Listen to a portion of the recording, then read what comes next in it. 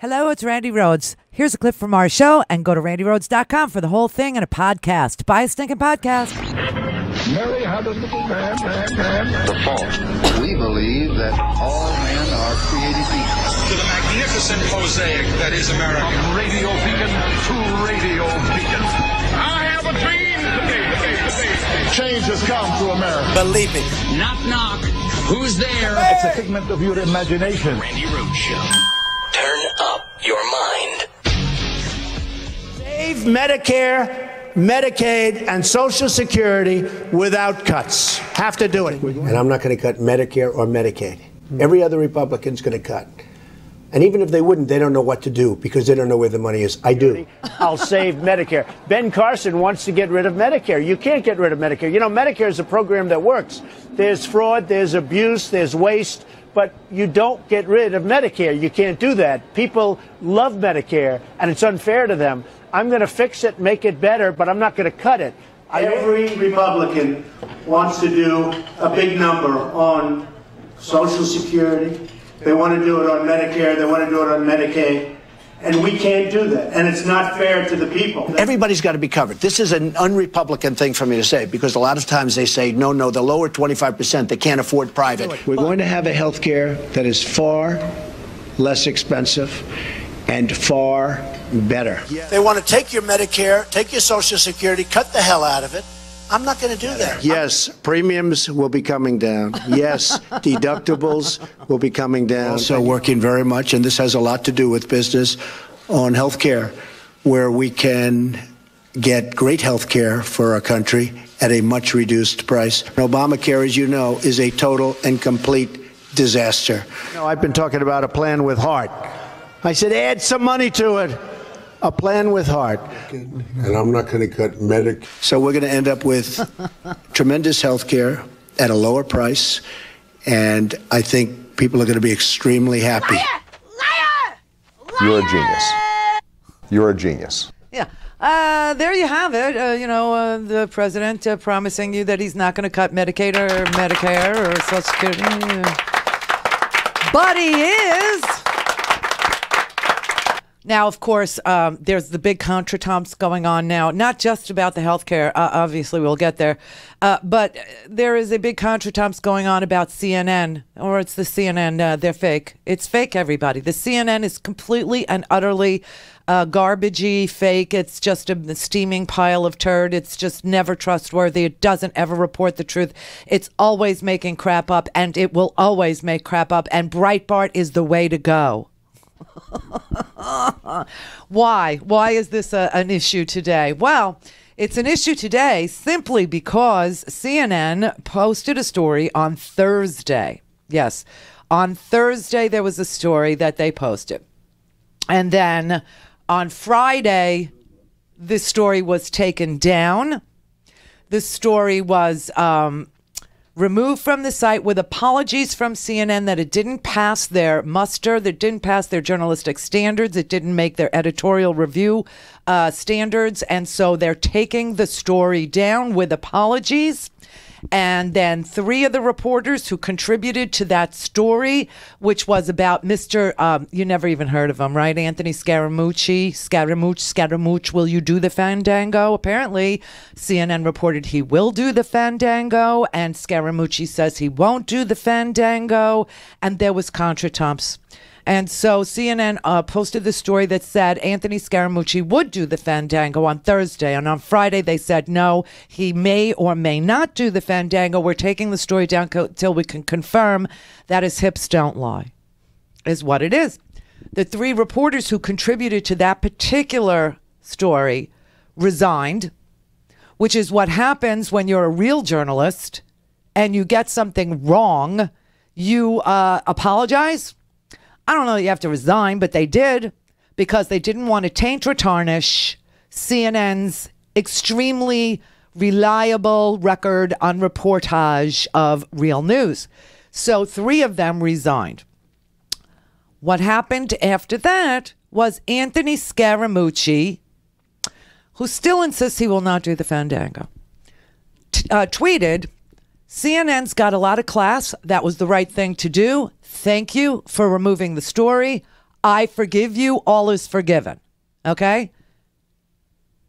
But that didn't stop the Trump administration from consistently and repeatedly attacking CNN as being fake news. Sarah gave an on camera press briefing today where the press was actually invited and it was run in real time with video and everything. Yeah, I was shocked that the press briefings included the press today and some very difficult questions for her. Things that she did not know how to answer. And so, suffice it to say, the press briefing was cut short, real short.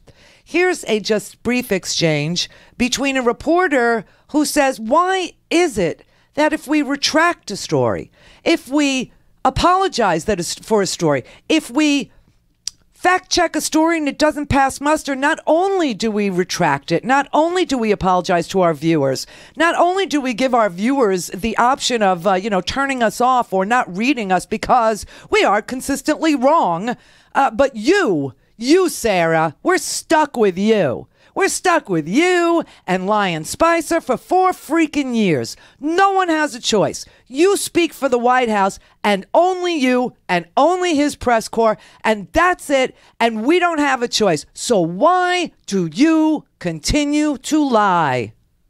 It was unbelievable. If we make the slightest mistake, the slightest word is off, it is uh, just an absolute tirade from a lot of people in this. Can I just pause it there for a brief moment? Thank you. Uh, I would just like to pause it there because we opened the show with him getting not words wrong, not out of place, not a sad, bed, not misspelled covfefe, not misspelled tap.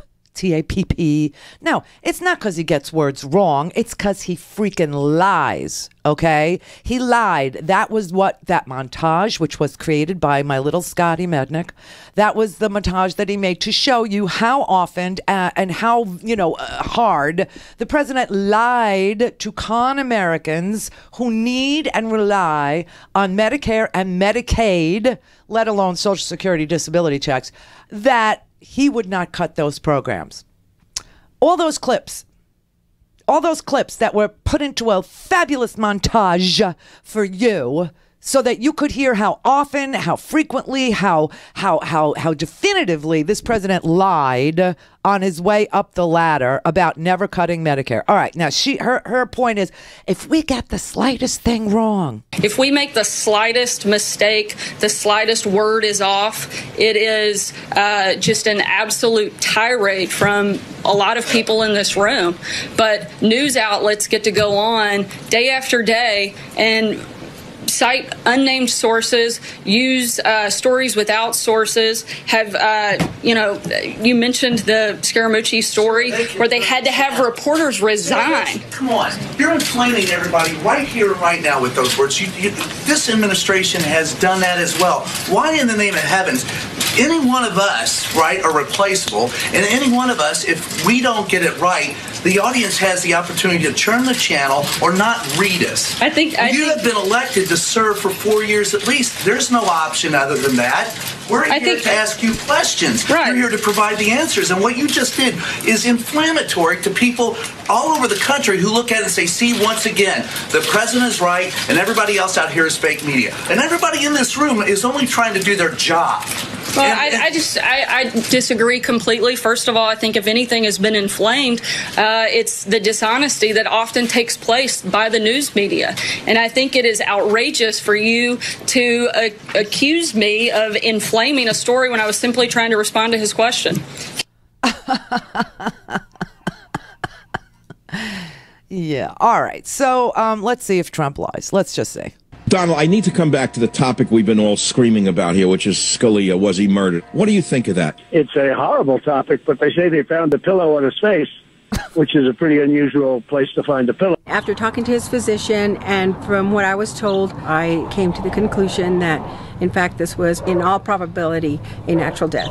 You are not allowed to be a president if you're not born in this country. He may not have been born in this country. His grandmother in Kenya said he was born in Kenya and she was there and witnessed the birth. In fact, I'll go a step further. The people that went to school with him, they don't even know, they never saw him. They don't know who he is. Yes, in fact, I was born in Hawaii August 4th, 1961, in Kapiolani Hospital. A heavy Arab population that were cheering as the buildings came down. We asked many people on the streets today if they had seen any acts of celebration, and we couldn't find one person that had. They did know it was coming, and George Tenet, the head of the CIA, told them that it was coming. So they did have advance notice, and they didn't really work on it. I don't like this idea of saying that George W. Bush lied. He's wrong, and he's, he's uh, I think, deliberately uh, promoting those views in order to advance his political interests. That's something that really only comes from the, the kook part of America. Just the other day, two years old, two and a half years old, a child, a beautiful child, went to have the vaccine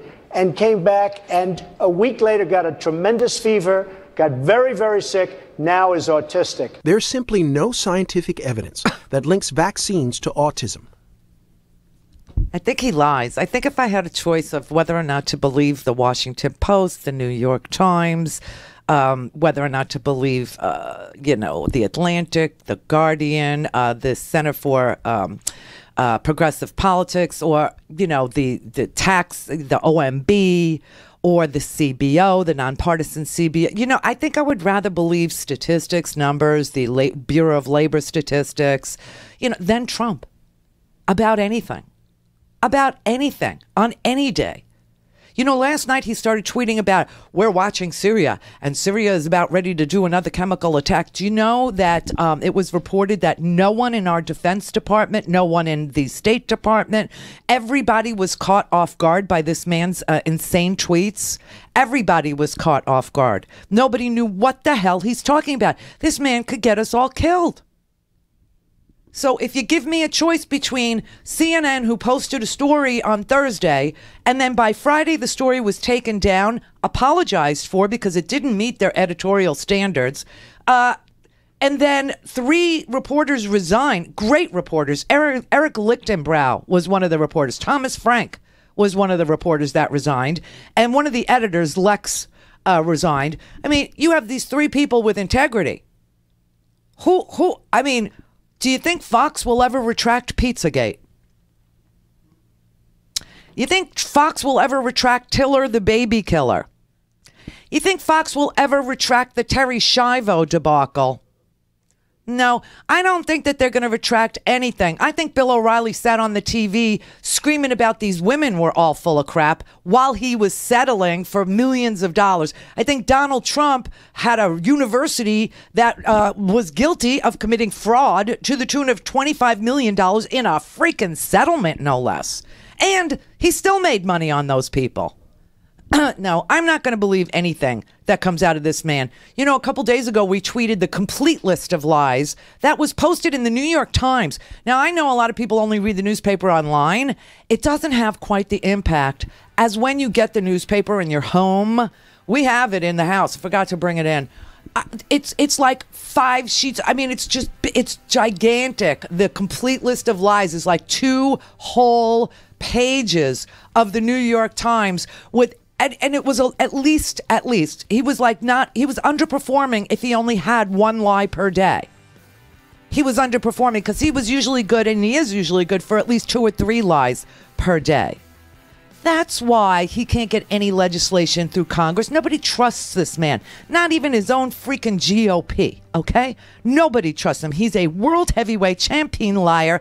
And yes, I will take uh, journalism that's fact checked, that has editorial standards over him every day. Every day. Go to randirhodes.com for the whole thing and a podcast. Buy a stinking podcast.